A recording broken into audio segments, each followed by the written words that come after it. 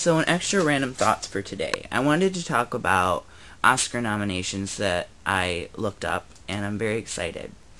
Um, first of all, Michelle Williams is nominated for My Week with Marilyn, and I think that she definitely deserves it. She has been nominated for Oscars so many times and not won, and I think it's a severe, like, what do you want to call it? A severe disservice to her because she's such a talented actress. Fuck Dawson's Creek, even though I like it, I will admit, whatever, don't tell anyone. She's a great actress. Um, and then Rooney Mara for Girl with the Dragon Tattoo. How awesome is that? Not only is that, it's nominated for Best Picture, which I think is pretty cool because I was hoping somebody would not overlook it this year, and they didn't. Very excited. Which Oscar nominations are you super excited about? Please let me know. Because the Oscars, if anyone knows me, it's like my Super Bowl. I don't watch sports, but the Oscars every year is a must. Also, the Grammys coming up. I'm super excited that Adele is nominated for so many wonderful awards, and she deserves all of them.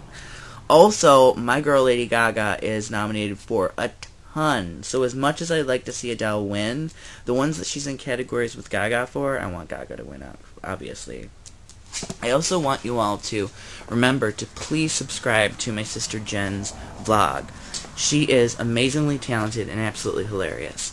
You can find her at www.jentotheden.com or you can also go to www.youtube.com forward slash user forward slash Jen.